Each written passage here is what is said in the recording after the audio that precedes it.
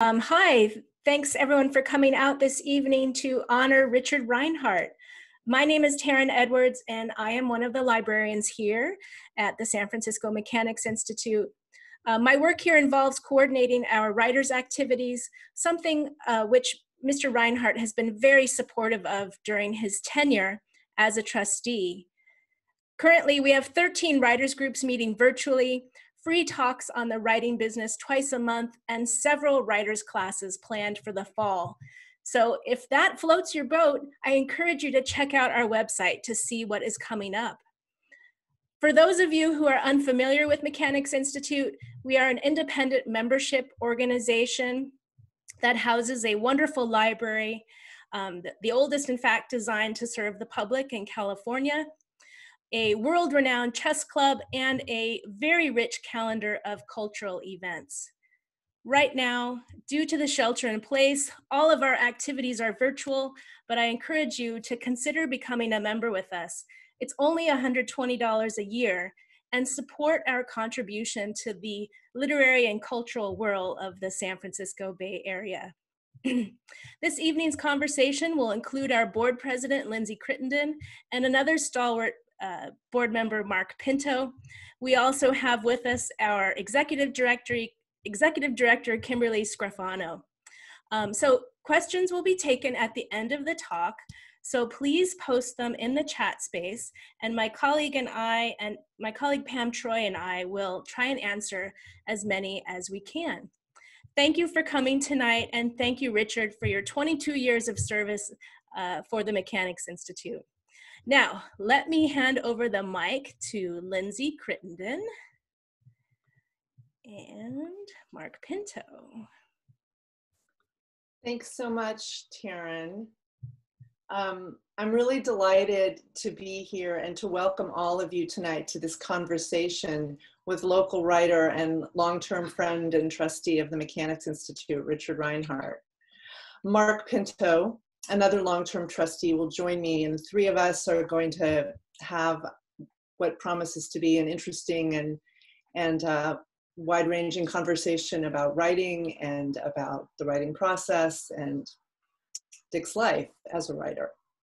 So I'm just going to give a little bit of brief biography. I know that many of you are familiar with Dick, know his work, know him personally. Um, Dick was born in Oakland and educated at Stanford. He has traveled overseas as a traveling scholar with Columbia University and as a recipient of a Ford Fellowship for Near East Studies. He's the author of several books, both historical fiction and nonfiction, including The Ashes of Smyrna, Out West on the Overland Train, Treasure Island, San Francisco's Exposition Years, and four books $300 and a dream about our own Mechanics Institute. Uh, a reporter with the San Francisco Chronicle for, for several years, a lecturer at UC Berkeley's Graduate School of Journalism, and director of nonfiction writing at the Squaw Valley Community of Writers. Dick has an avid interest in historical preservation and travel and has been an active member of San Francisco's literary world, not to mention the Mechanics Institute, um, for more than half a century. So I'd like to start, Dick, by asking you, as someone growing up in the first half of the 20th century, a time of great change, like now, in different ways, what propelled you to start writing? When did writing become for you an interest and then a real career vocation? Well, that's an easy question because I started wanting to be a writer from the time I mastered the alphabet and began writing in little books. Uh, my first uh, my first published book, which is because the teacher took it upon her to take down my notes, was an, autobi- autobiographical, ah, an autobiographical treatment of my childhood, starting at about two and getting through about seven at that point. so I've always, always considered myself from the very beginning a writer. Hmm. And uh, that meant trying to find in education the route where one could get to be a writer and still stay alive. Yes. Do you still have that little book, that little autobiography you did? I never threw anything away in my Yeah. life, even even the most awful first drafts. Well, and I think that says so much about the writing impulse, doesn't it? That at that young age, you would you would feel the need, uh, you would feel the real desire to to record. You know, I think writers are born observing and noticing the world around them, and even at that young age, you you felt that need um, so strongly to, that you needed to record it down, and your teacher your teacher saw something there. So that's really wonderful. Um, did you study writing at school? Did you did you start writing after college? When did you start writing for a paycheck, so to speak? Uh, the, the paycheck came with a few freelance articles uh, when I was in the in the uh, graduate school of journalism in Columbia. Pardon me. And uh, that, of course, gave me a little sense of what it might be like to be a freelance writer because one is paid very, very little. This is one reason why so many writers, in fact, are also teachers or lucky enough spouses of someone who will support them or have some other means of paying the bills. It's very, very difficult.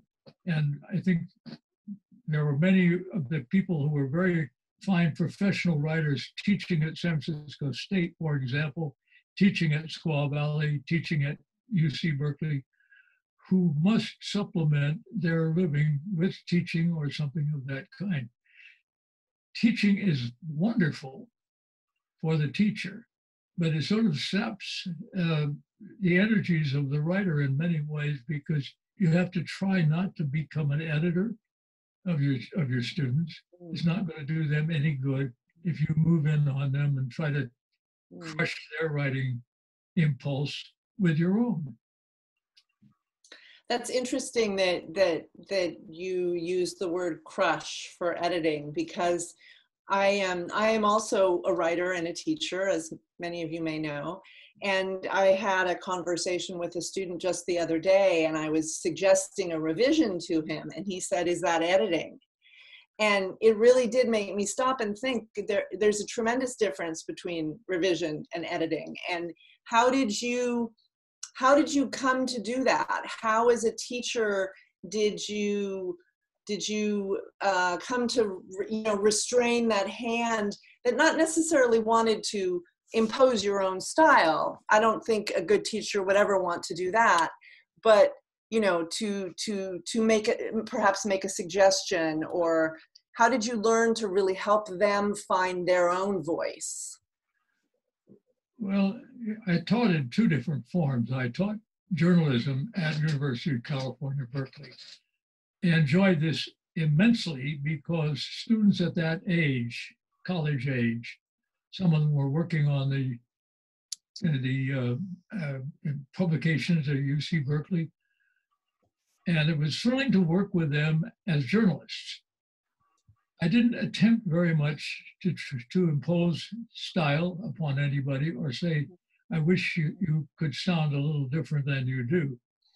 Because they had, the journalist has his own or her own voice, frequently is suppressed unless it becomes a kind of a journalistic memoir, which is something more like uh, uh, well, I'm not going to try to name names because it would be it would be pejorative, but many journalists get their reputation, but really by intervening, which is just as well, I think. When I came to uh, begin to write fiction, I probably made the mistake of going into writing historical fiction because it meant I had to try to move myself into the minds of people long dead. And uh, fortunately, I decided to take a course where I was going to be really doing an awful lot of research before I wrote, so that I would be, it would make me feel safe about what I was writing, that I was not going to be making terrible mistakes. Sure. That's probably not the best way to write fiction either. I don't know. What do you think? Mm. I know you write fiction as well. Well, I've never written historical fiction. So, I mean, my fiction is placed in in in this world. You know, it's I don't write uh, science fiction or fantasy, but I've never written about um, real life figures. So when you say you you wrote about people who had long since died in the Ashes of Smyrna, were those characters actual living people? I mean, certainly the politicians you wrote about were, I would imagine.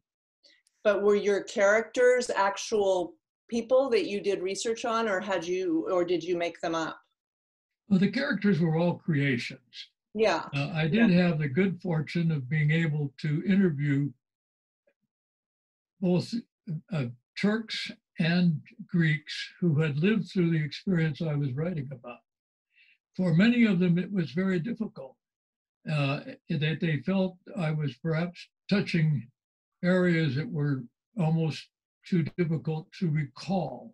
For example, one man who had been a colonel in the Greek army and was trying to remember for me what it was like to be virtually imprisoned in a, in a winter uh, siege uh, where the Turkish army had surrounded a portion of the Greek army. And for him to be able to talk about it was, was perhaps more helpful to me than it was for him. Mhm. But he did recall in great detail forms of suffering and forms of fear and so forth that, that I then knew I was on the right ground if the characters that I had manufactured, which included Greek and Turkish people, were within the scope of my own imagination to imagine. Yeah. yeah. Well, I think I think all fiction writers draw on, you know, our, we we draw on our own experience. We draw on people we've known.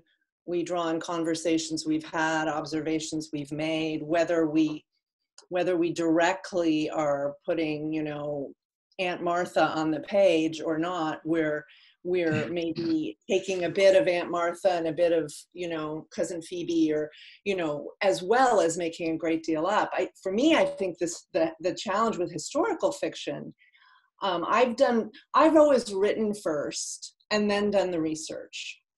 For example, if I have a character who is a archaeologist and I know very little about archaeology, I will get about as far as I can get and I'll realize I need to do some research. I need to know what this person who's sent to Nevada, for example, what tools she would have with her, what what what her assignment would be, what she'd be looking for, and that kind of research. Or if I'm writing a, um, a scene that takes place in a garden in the spring, I want to make sure I have the right thing in bloom. You know, something like that. Um, but I would imagine your experience living in the Near East. I mean, I'm assuming you lived in the Near East, um, you know, with the Ford Fellowship, and at that point, you that's when you must have done a lot of the on the ground research for the Ashes of Smyrna, correct? Yes. Yeah, which is about for those who haven't read it, it's a wonderful historical novel about the would you say the Greek occupation of Turkey after Greek joined the Allies in the First World War? So it takes That's place. very close to the, it was not the way it was described. It was close to a mandate that mandate. the uh, peace peace conference in 1919 had given to the Greeks because of the extreme friendship that the British people felt, especially for the then head of the of the Greek government, Eleftherios Venizelos. If Venizelos had not been so strong a man, I think caution would have prevailed, and the Greek would Greeks would not have sent an armed force into what that part of the Ottoman Empire where the Turks ruled. Yeah. The other empire was very large. There were places where the Greeks outnumbered any other race, but where they landed was not Yeah. one of those places. And that meant that they put the other Greeks who were living there, that the Greek government put them into danger and ultimately resulted in the Greeks being expelled from that part of the, of uh, Anatolia, the Ottoman Empire. And it was and was and is still regarded by most uh, Greek people as a tragedy. The Asia Minor catastrophe. They had hoped instead to produce a new empire, Greek speaking, and so forth. And Right. so, what I was interested in for the subject was the contrast between winners and losers in a war, Mm, apparent winners and apparent losers. I think mm, really both sides in that particular war, both Greeks and Turks lost a great deal. They had lived together rather comfortably for 500 years. mm. And when you see one side or another reasserting themselves, this is kind of getting a little off the subject, but in the papers in the last few days, you may have seen that the Church of Hagia Sophia in Istanbul Yes. Has been made a mosque again. to be a mosque. Well, it was a mosque for many, many years, but for many, many years before that, it was a Christian church. So this is really a bad sign in what was the Ottoman Empire in modern Turkey that they are returning themselves to be a strongly Islamic state and asserting what had been the triumph of modern Turkey which was to become a secular state Right. Yeah. citizenship, respect for everybody. That was about the best outcome you could have had from that war. Well, one thing that struck me in reading the book too was how much um, uh, nostalgia, if that's the right word, pride. I mean, the Greeks have, you know, the ancient Greece is the, you know, seed of of culture, right? The seed of democracy. So they have this enormous pride in their culture.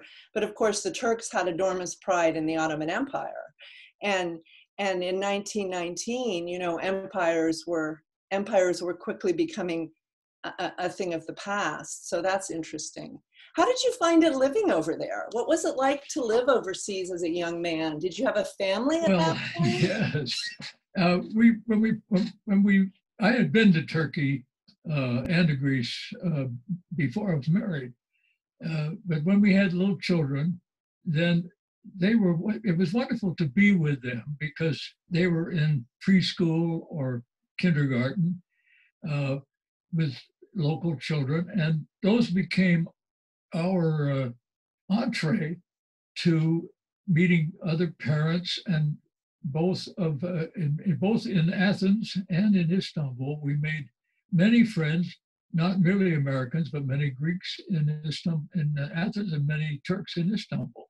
Hmm, So I came to realize that my feelings about them, which were fond in both cases, were justified, and that that it was it was indeed a, a great sadness that those people who had lived together, the their predecessors had lived together for 500 years, had been torn apart again, as as the war did, and now things had been healed after the war of 1919, and now it was back again to a position where fundamentalist Islamists were asserting the rights to that church, which is an international shrine. It was a, built by the Greeks, filled with beautiful mosaics. The mosaics were painted over by the sensible Turkish government that followed war, that of Kemal Ataturk. Nothing was ruined. The mosques, which were offensive, the uh, uh, pictures were offensive to the to the Muslims. They were pictures of Well, they um, were they were representations, So right? instead of destroying them, the very sensible Turkish government pasted them over. They were re- entirely uh, removable, entirely uh, savable, and that was the right church, right uh, judgment to make that church not a mosque, but a museum, which is what it was for many, many years now, many successful years. It's a very, to me, it's a very sad thing to make it a mosque again, not because I have anything against Muslim worship, but I have a great deal of uh, feelings about how Christians will feel about Muslim worship going on and what they regarded as one of their great churches. Well, these layers, you know, like like when you go to Rome and you see these these these churches in Rome that are on top of pagan temples. Have you been to Istanbul, Mark? Have you been to Santa Sofia? I'm sorry, I didn't follow that. I was asking Mark if he had been to Hagia Sophia, if he had seen yeah. it. I'd been to Saudi, but uh, I wasn't able to go to Mecca because I'm not of that faith. But uh, I got a good sense of what it's like. So I appreciate what Richard's saying. I wanted to ask Richard about his time at Columbia. You know, when he was there, uh, New York, as we know, has a very rich literary culture. Were you able to, to socialize with some of the prominent writers at the time? In the in the mechanics New York, or New York City at Columbia. In New York. Well, you were at Columbia. Uh, yeah, yes. Uh, although I was in I was in a journalism school, so I was very pleased when some of my my uh, fellow students there wound up in the newspaper business or on television. Uh, I don't think there were many writers of fiction there. If they were, I apologize to them for going in that direction. They went to the New York Post. An art dealer and that kind of thing. This is where journalism school trades, trades you for other things. Well, was this sort of Pete Ham? This would have been before Pete Hamill and and reporters like that, right? Uh, yes, it was a long time ago. Yeah. it and, was not before. The only person that I later knew was Jim McClatchy of the McClatchy newspaper part. It was in the class ahead of me at Columbia. Uh, so they, they, Columbia Journalism School was also producing publishers, advertising people, mm-hmm. and uh, I'm happy to say some very great reporters.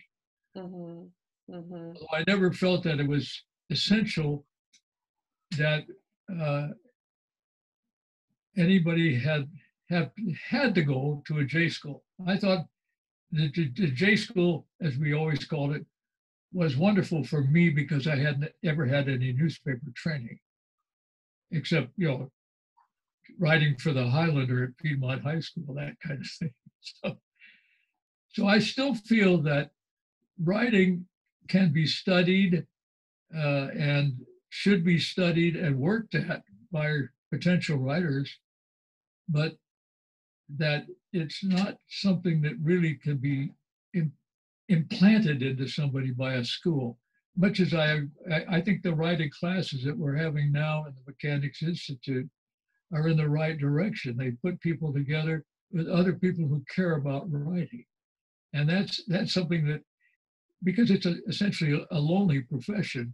I think that this one of this is one of the really good things that the Mechanics Institute is doing nowadays and was doing when you, you and I were on the board together, Mark, many years ago. We were always interested in writing, but we've been doing a lot more at the Mechanics Institute now. Many, many little sort of self self-driven classes, and certainly constant visits by writers and authors and even agents and so forth for people coming to the Mechanics Institute to meet yeah, to a great extent, that's a credit to you because uh, you were part of that initiative to, to expand in that direction. So the Institute owes you uh, a lot of gratitude in that respect, and uh, we're appreciative of it, what we've done over the years.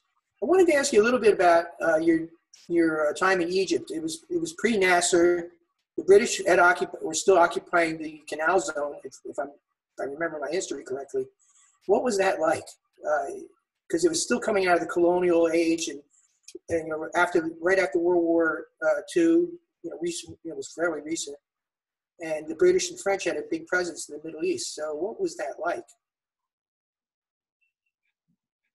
We were not greatly affected by it uh, living in Istanbul or in Athens, except insofar as there was a, a almost continuous friction in Cyprus the island that was part of the British Empire at one time and then was occupied in different regions of the island by Turks and Greeks.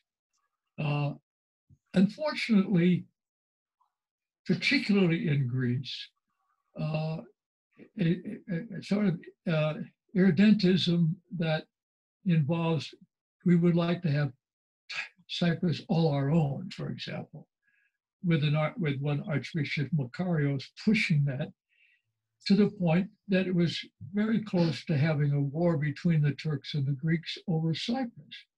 And this was done essentially by the moving of ambitious politicians against their nearest neighbor. Because basically, the Turks and the Greeks have a great deal in common, common history, and their their cultures, their agricultural and business cultures fit together very, very well. They should be the best of allies always.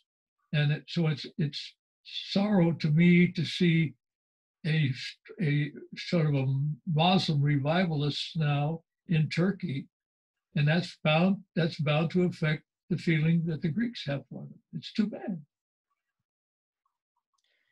Was living as a writer overseas? I mean, living overseas is different no matter what you do but but how did you find the life of a writer i mean i think a lot of us have a very romantic notion of of living as a writer overseas you know i mean there's the paris stereotype yeah. right that's 100 years old by now but but did you find that life as a writer was uh, was different in, in just sort of a day-to-day way overseas from from here at home of course you were on a fellowship so that probably helped but that meant i didn't have to go to work every day except at my desk uh, no, Did you Mark, find Mark, that? I, I know Mark will understand this and sympathize with this too, is that most practicing writers, unless they're working for a publication, have they have a great need for space.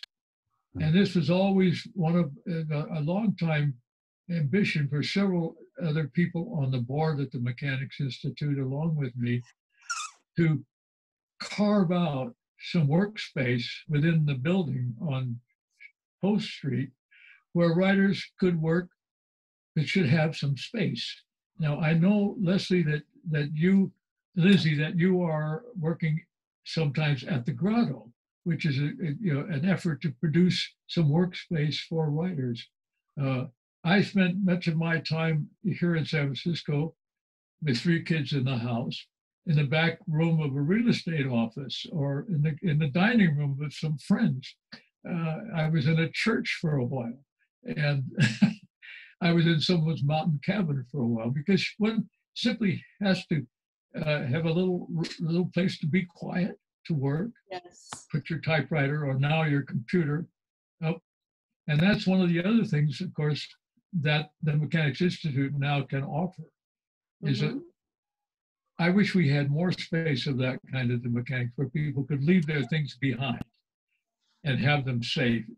A locker, even even better, a room in which they could have a desk. We tried to do this.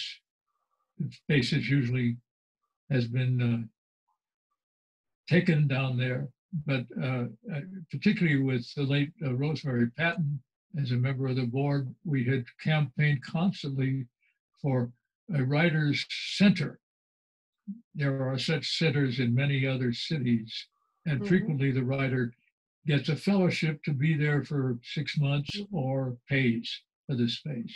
So oh, that's still, that and that and that's still and that's still a possibility for you know for something something we can do. I know I, I have many colleagues at the Grotto actually who are also very active members at MI and who work both places. Mm-hmm. Um, you know, and of course these days we're all we're working we're work we can't go work at MI or at um, or at the Grotto. We're we're all we all have I don't know about it. Well, I don't have small children. I suppose if I had kids at home, it would be different. But mm. it's there's sometimes it feels like there's a little too much space. Mark, did you particularly? Oh, I'm sorry. No, go ahead. Go ahead. I was going to ask uh, Mark the question, and I know that because uh, you were on the board uh, most of the time that Rosemary and I and some others were pushing for that writing center. the the inhibition seemed to me usually just that we needed the space for revenue. Wasn't that really the big problem? There's always a conflict, and, and anytime we dedicate a, a, a specific space, it's, it's, it takes away revenue. But I was, I was along the lines of what you wanted to accomplish. I was all for it, but uh, the, the economic situation at the time didn't permit it. And now things are a little bit different. I think, you know, I, I foresee something that we could have the space and maybe raise money for an annual grant uh, within the, the MI community to sponsor a particular Mm-hmm. writer. And that's a goal. And it's something that I would love to see happen. A writer in residence. Yeah, writer in residence, just uh, in in the current circumstances, uh, it's very hard to predict any time going forward until further notice. So, but that's something that I would like to accomplish uh, before it's all said and done. Uh, it's just a question of getting the uh, the space and, and the money to supply the grant for the fellowship. Mhm, mhm. But it, it's something we should work on, definitely. Yeah. So Dick, you always worked, it sounds like you always found a place away from home to work. Yes. Um, and I think that's, it was that to have that physical division, you know, to be able to sort of have your workspace that was where you could just dedicate to whatever project you were immersed in and, and to be able at the end of the day to close the door and leave it. Yes. Yeah. Cause I think that's, I was over a pizzeria on Clement Street uh, for a while. I was in the back office of a realtor's office on Noriega Street. The trouble with the realtor, he, he was he was out of the office all the time, but he'd come in about five and want to talk. uh-oh, And by, by then. I was just beginning to get up ahead of steam and get, get my bit of my bit of writing done for the day. Right. Along those So- lines, when do you find uh, you're most productive as far as writing goes? That you're both writers. When is there a certain time of day that works better, or is it just kind of random that you get you get the uh, inspiration and you start writing whenever, or is there a certain time of day that you're at your best as far as writing goes? Well, if you know, wait- I think if you wait for inspiration, me, I know what- I was just going to quickly say if you wait for inspiration, you'll be waiting a long time. you got to you got to get your butt in the chair every Yeah.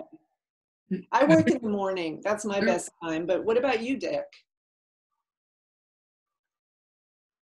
What's your best time to write, Dick? Uh, I, th- I think uh, there. I think it was a French writer who said uh, the best place to write is to you know is to place your backside in in front of your desk, and and then write. Uh, what I find best for me to do is to have uh, broken off writing with something still to say, and perhaps you can make a note to yourself to kick you over uh, the next day. Yes. I even do that about what I'm going to cook the next day now. So I, I, I, I wake up without any ideas. So that- But you know, that was- something from yesterday was very good. that was Hemingway's trick. I remember reading somewhere that he would he would leave with the sentence unfinished so that the next morning he just had to he had to finish the sentence and then he was on a roll and I think there's a I think there's a lot to that. I think um, leaving, you know, I mean, when it's going well, you want to stay and keep it going well. But but you, if you're in a regular practice, I've found if you're writing in a regular regular basis in a serious way, maybe it's not every day, but you know, four or five days a week, you um, you you get into that that groove. I mean, certainly there are some days where it's more difficult. Annie Dillard, you know, who writes wonderful books about natural history and about the Pil- Pilgrim at Tinker Creek and books like that. Annie Dillard said, "What if the muse showed up and I wasn't there?" You know, so in in terms of you know keeping yourself in your seat every day. Dick, one question I wanted to ask you is, you know, writing. I don't think writing has changed, of course not. But I think the writing life has changed a lot in the last over the last decades. You know, you mentioned earlier the idea that writing can be taught or writing at schools. and there's a much bigger emphasis now. There are many more MFA programs, many more graduate programs in creative writing than there were, you know, 20, 30 years ago. Um, how, in, in your life as a writer, what do you see as sort of the biggest changes in in the life of the writer or the the world around the writer? I mean, I think I think as you say, it's all about sitting in the chair and writing, but in terms of in terms of the things we have to be aware of, the things we have to be cognizant of, the challenges? Well, I, I think the screen.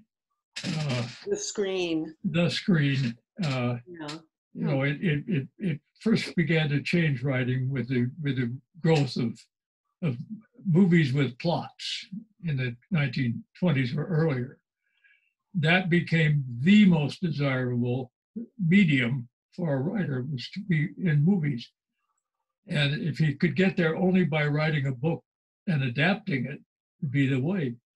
I think they were very, very different. And it's odd, odd to think that Heming, that uh, Faulkner, for example, was the author of, a, of, a, of an Egyptian thriller about the building of the pyramids, uh, you know, it, it, with screen credits. Now, you expect certain writers very much had screen in mind. And you know, I think that anybody writing about detectives in Hollywood, like Chandler, for example, Chandler, yeah. they yes, had screen in mind.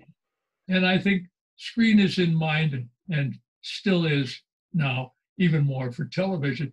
And it's being affected very, very much by sort of reality TV, where you expect the, the drama to develop out of living people before your very eyes. These have got to be some of the influences on a writer's life.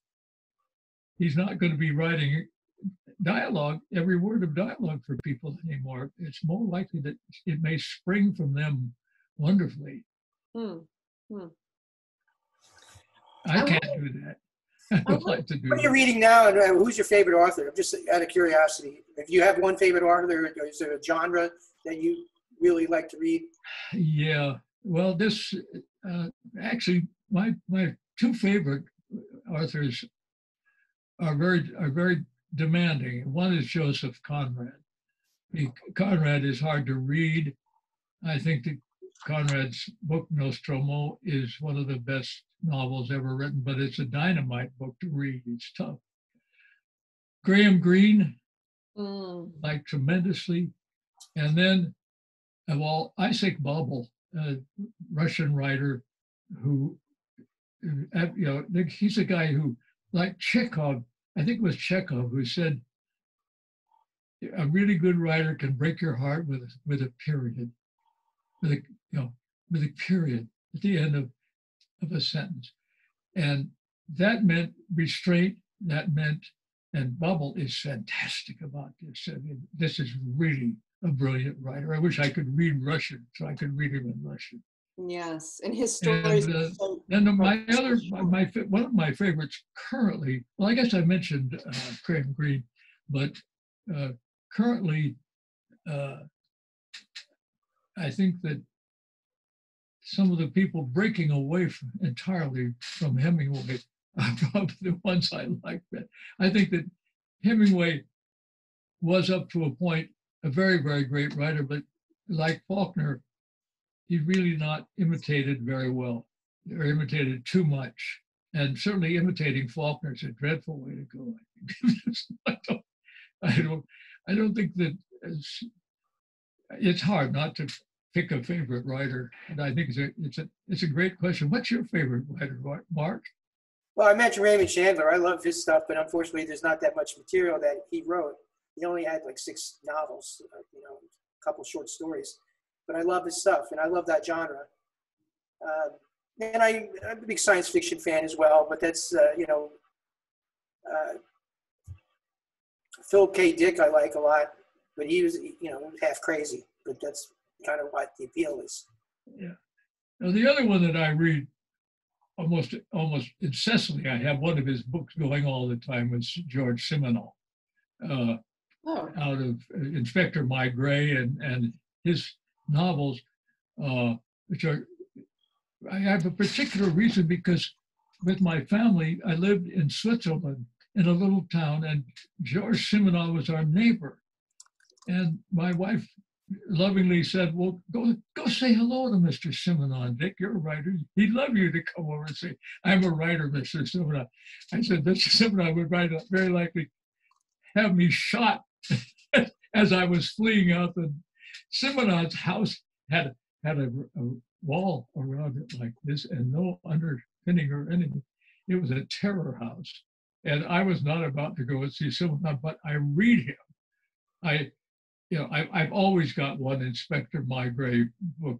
Uh, and they, they usually take about half a day to read, but I love them. Can you talk a little bit about some of the books that you've written, and, and uh, particularly one that interests me about the rail, the railroads, and name your some of the travels that you had on the rails that inspired you to write that. And, uh, you know, what motivated you to write some of the books that you did write?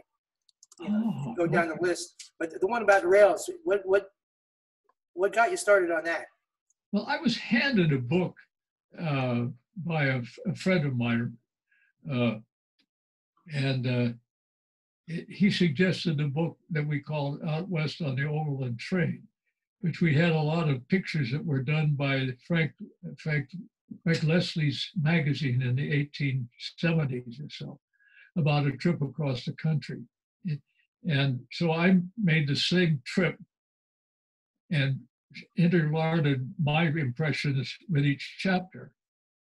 But doing that, I, I, I began to read a lot about railroads so that so then I began to gather a lot of stories by people involved in the railroad, and that came into a book that was called Working on the Railroad. It's the only book I've written that's actually in print now. You can buy it from Amazon. they don't have it on a Kindle, but they do sell it. I know we have um, a bunch of questions people want to ask, but before we open it up wider, I want to ask you, Dick, what do you what book have you most enjoyed working on and why? A book called Treasure Island, which is a memoir of what it was like to be a kid in the Bay Area at the age of 11 when the whole Bay Area was just enchanted with the idea that we were going to have a fair here. Mm-hmm. And it was a wonderful fair.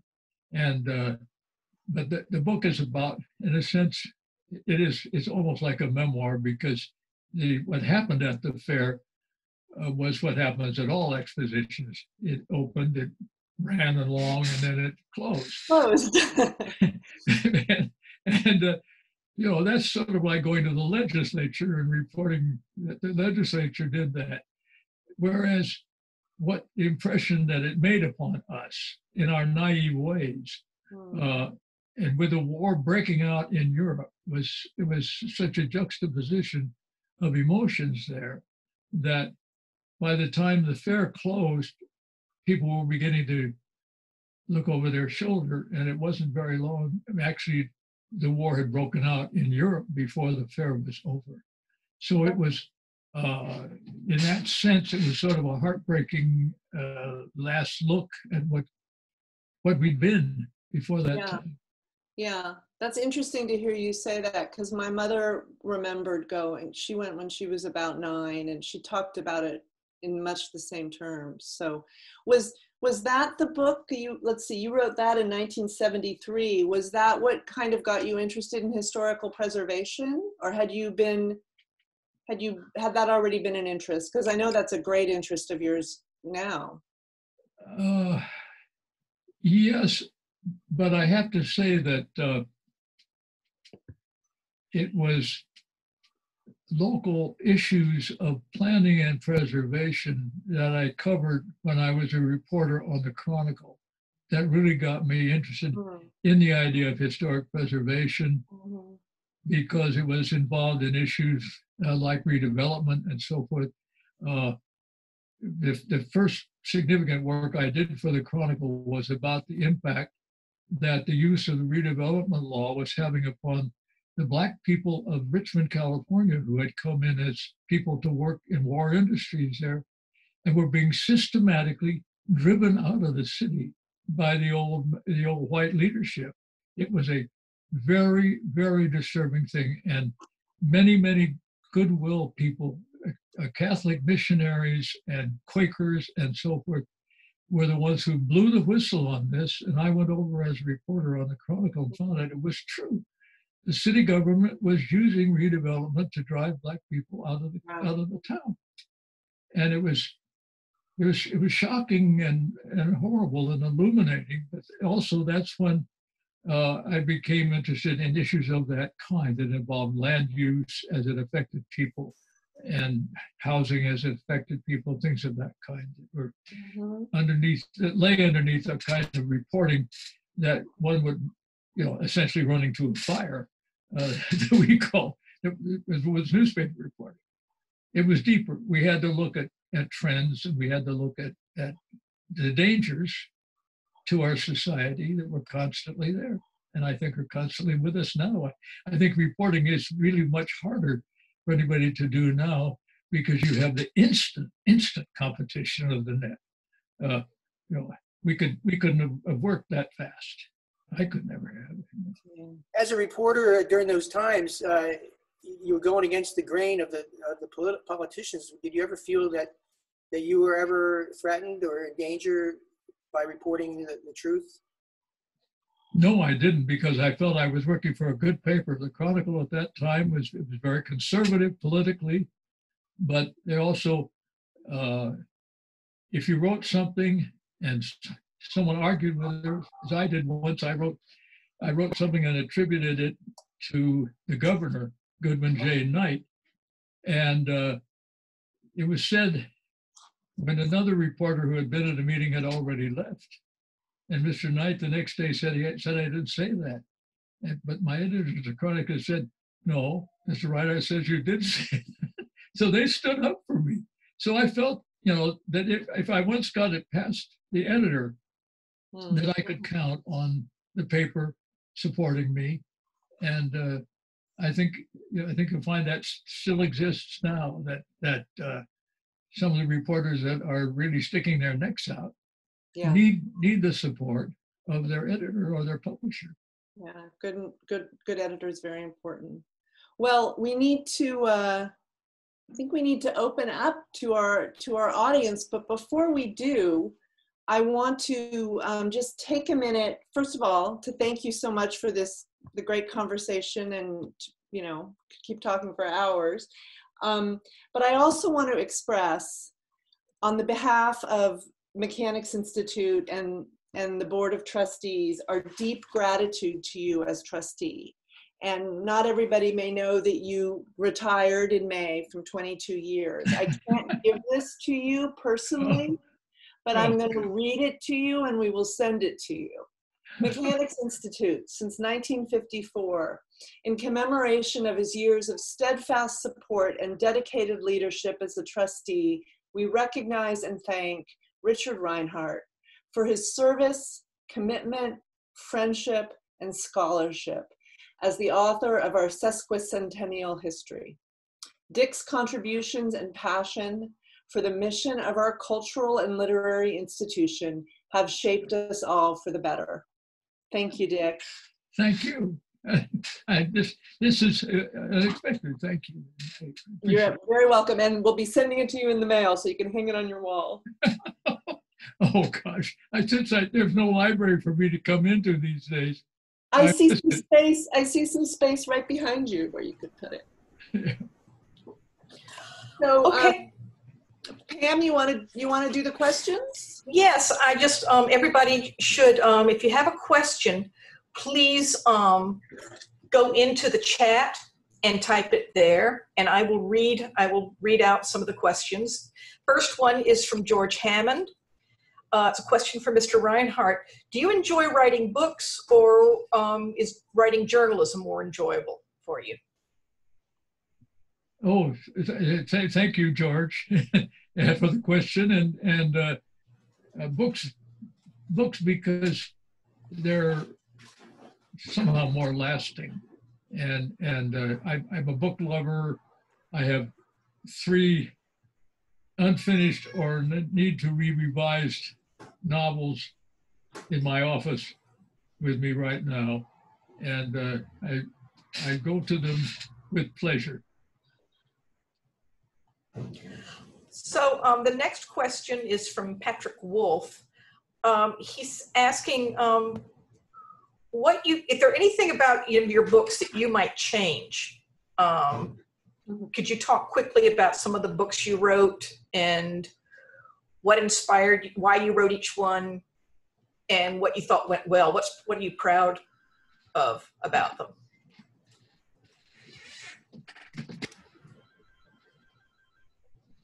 Oh, God. It's ringing even though I.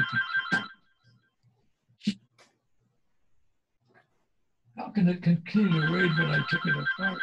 It's okay. We can't, it's, it's not that loud. Not Don't- intrusive. Sorry about that. Uh, yes, I would. I would. I'd, I'd use a whole lot fewer words in writing the Ashes of Smyrna. It, it was it was a long, long manuscript. I became enchanted with my research. Uh,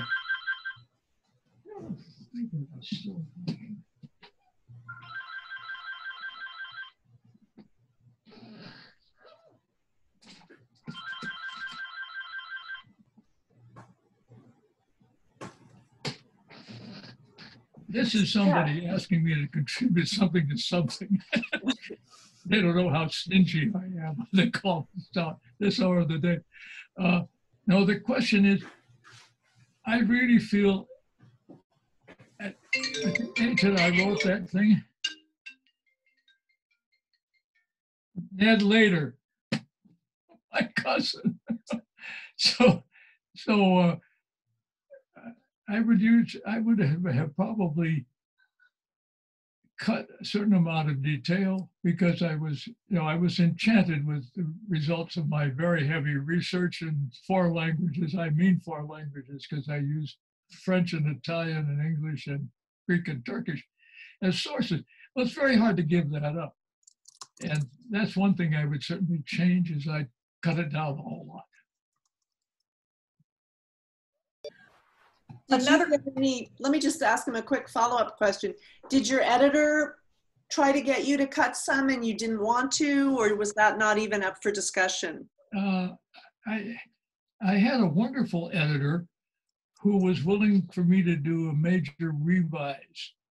Uh, unfortunately, that editor who had been with Harper uh, moved over to another publisher, and I had a literary agent then who said, "Don't move with the editor," Hmm, which was fortunate because he died later on. hmm. So I got a new editor, who was very kind, and uh, who guided me in getting rid of a superfluous character. Hmm. And he was a superfluous character because I had killed him off rather early in the book. but the editor said, "If Tolstoy could do that, Reinhardt can't." As you may remember in War and Peace, one of the main characters is killed rather early in War and Peace in that great long book. So he said, Tolstoy, yes, Reinhardt, no. You to get to do that. So I had I had revisions of that kind. So, um, Jean Blaney is asking, um, what can we do to support budding writers in the current environment? I want to say, hi, Gene. You're a former, a former member of the board of the mechanics. What was your question, Gene? I'm sorry. It's um, what can we do to support budding writers in the current environment? Have a, have a good writing room for them and some scholarships to the Mechanics Institute. Okay. And I would add to that, but um, support local bookstores, support independent bookstores, go to readings. I have a lot of colleagues who have books coming out right now, and you know, right in the middle of a pandemic, who's going to go to a bookstore? But it's amazing what a lot of the stores and what we at MI are doing to to promote and you know new books coming out. So I definitely agree with Dick about the scholarships for a writer's room at the MI, but but just by by supporting and reading reading new writers.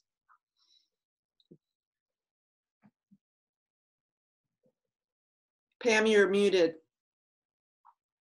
It looks as though that's um, pretty much all of the questions unless somebody has something else they would like to ask. Um, I will, I do have a question. Are there books about writing, Dick, that you would, that you would recommend to writers? Oh, yes. Uh, and I think every, every writer will know this book, which is Strunk and White. E.B. White and Will Strunk, a famous book that uh, White revised uh, when he was a brilliant writer and editor for the New Yorker. And I think most most people who have had, who have had any kind of of a- of an English course in a higher institution, and probably even in high school, would read Strunk and White. There it is for those who, the elements of style. Right. Other than that, I read an absolutely charming book by Eudora Welty, a Southern writer, and I think that her biography and other biographies of that kind uh, that are, are really full of a certain tenderness about their subject matter. Eudora Welty wrote very tenderly about her subjects, and it's something to read you know, and, and not decide you're going to be such a smart ass that you're going to uh, introduce people to nasty people or get nasty things off your own chest, that you might think this is a humane art. Uh, writing should be. It could be a terrible weapon, as we know. But I think if you want to, if you want to be a humanitarian yourself, you don't have to be religious about it, but you have to have some sympathy for other human beings before you start writing about them. Um, and one more question, question from George Hammond. You have three incomplete novels in your office. Which one do you intend to finish first and what is it about? Oh, that, that's a hard one. Well, the, the, the first one is about it's about a gold rush in southern uh, southwestern Nevada in 1907, and it fascinated me because it was the scene of a terribly corrupt but famous boxing match between a black man and a white man. Mm. And it was also where everybody who'd made money in the Klondike came and gambled and gambled away the money they had the Klondike. And it was visited by one of the most interesting literary women I've ever encountered, which whose name was Elinor Glyn. And she was the author of the sexiest novel published in her time, which was called Three Weeks. And it was about a middle-aged woman and a younger man. Oh, boy, did they gobble it up. Anyway, Elinor was there for the fight, and I thought she was just a great character. And that book is really finished. I wrote it from the point of view of three different characters, and I never could get anybody interested in buying it and publishing it. So hmm. I abandoned it. The other one is about, uh, and to answer George's question, uh, is about a couple of men in the Bay Area who throughout their lives have been very good friends. And one of the men has had a little black spot in his life, which he has concealed. He can't, he's a guy who can't tell a lie. And, and uh, it, it, the story is really about the persistence and ultimately kind of the breakup of their lifelong friendship uh, over the secret that one of them will not share with the other. And that's uh, that's the one that gets good, that gets done next. what did I say? There were three. I guess that's Are you still be- working There must be actively? another one around. Are you still working actively on, on any of them? Yes, yes. In fact, I've changed the name of one of them already. That's how active it is. Yeah, I am working on them. And uh, that's here, you know, Would you ever consider self-publishing? It's an old guy now, I lack I, I lack a lot of energy. So I, after after I've been writing for a while, I think, gee, it's time for me to have a drink or go to bed. Something. That's very common in the writing life, regardless of the age. I think you all know, all know that, all of you.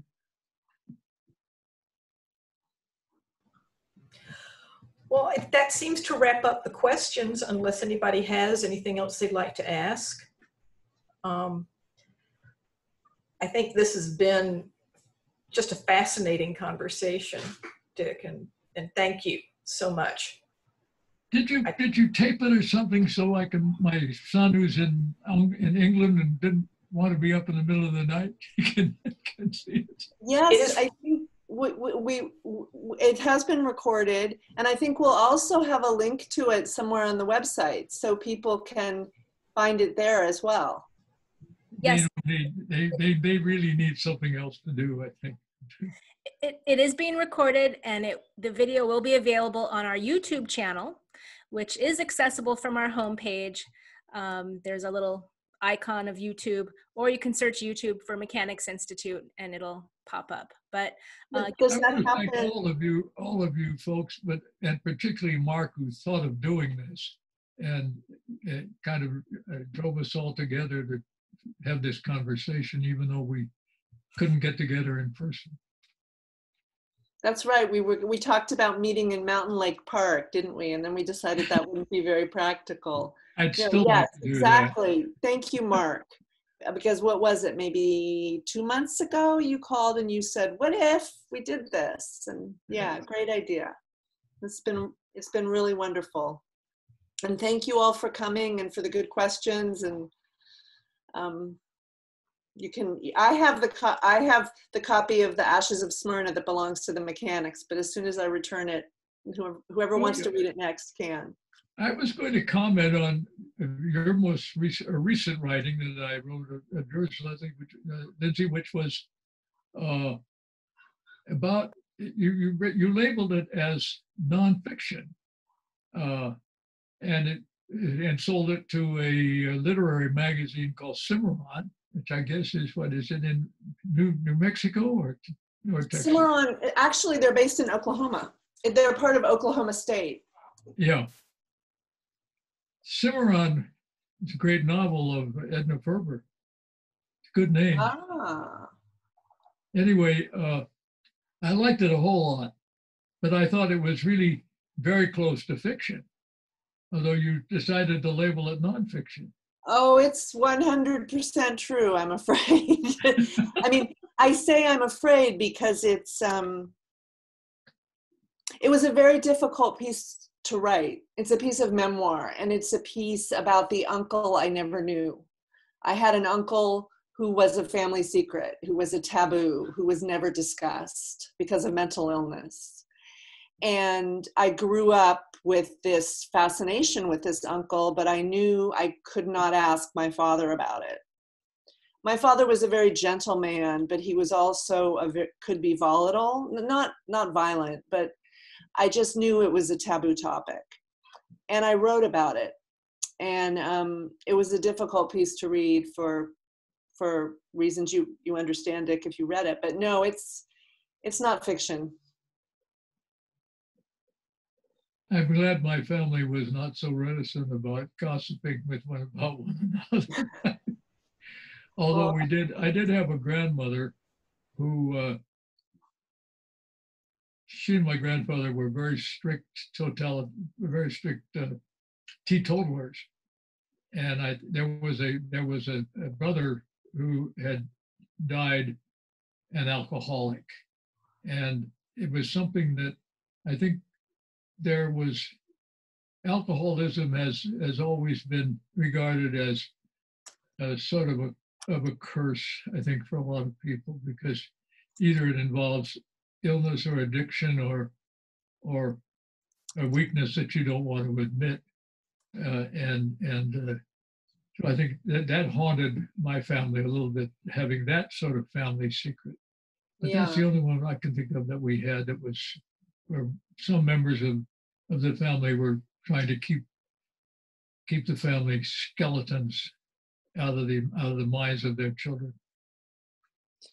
Well, of course, kids are very perceptive, right? So even if, even, I mean, even if it's meant to be kept away and not mentioned, kids pick up on stuff. Kids, kids hear things, or they just pick up on a certain energy. When, you know, whenever anybody mentioned my father's brother, it was sort of like, what, who? you know so you just kids pick up on that and and being a writer like you you know you said you wrote your autobiography at seven i wrote my first autobiography at 10 so we do these things and Yeah. and we observe you know and and when things haunt us for lack of a better term i don't think it's too strong to say this haunted this really well haunted might be too strong but this really made an impact on me and i and i needed to write about it as well as some other family family stuff.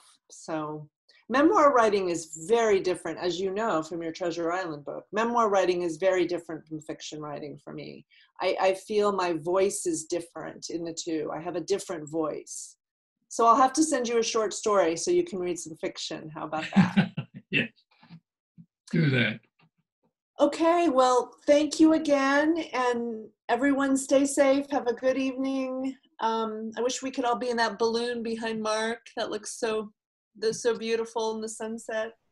Um, but Pam, do you want to, or Taryn, are you still there? Do you want to sign us off? Um, I, Taryn, are you, are you the, you were the host, so, Well, hey, thanks everyone for coming out to honor uh, Dick Reinhardt, and thanks uh, Mark and Lindsey for your um, fascinating commentary and questions. Um, there are a couple of people who raised their hands. If you had a last minute question that you could quickly ch- type in the chat box, that would be fantastic. Um, otherwise, I think think we're ready to sign off and send Richard off to uh, bed or drinky poo, whichever. Yes, please, if you have a question. I want to ask Taryn too. Taryn, you were working at one time on a biography of one of the most important founders of the Mechanics Institute. Yes. She what? Is you cooking along on that one? Oh, so many things get in the way, but I'm clicking along. yeah. Well, this is some, really one of our most interesting citizens in a way, in that he he's he's known to us mostly as having supplied the ropes on which the cable cars run, whereas he had so many other wonderful involvements in San Francisco. He's one of our one of our great citizens, including kicking off the Mechanics Institute. So I hope that will I hope that one will appear. One of the good guys. It will at some point. you know, he didn't exactly make it easy. So, all right. Here's- Oh, Here's one question I see that just popped up. You see it? yes. Libby Toller asks, What have you learned, Dick, between then and now? Which then is she talking about now? Uh, you know, t- have some poetic license. you can decide which then and which now. But The uh, well, the the then uh, I, I I was asked to do an alumni evening speech for a Stanford group, and I called it "If I Knew Then What I Know Now," or the other way around. If I knew now what I knew then, I thought I knew a hell of a lot when I was about a sophomore or so in college. And what I what I learned was that I was not going to change the world. That, I, that the ideas that I had were mostly extraordinarily naive. I really believed that the United Nations was going to put an end to war. I believed that a sort of a Quaker morality was going to put an end to military involvement in, in everything.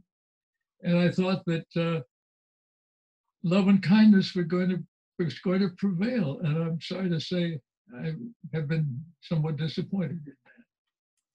well, That's how I know now. Not alone. let's all try to keep that innocent spark because that's what keeps things bearable. Yeah. Absolutely. Thank you. Absolutely. That's a great note to end on. All right. Thank you, everyone. Um, Thank and you. uh, Thanks thank so you. much, Jack and Mark.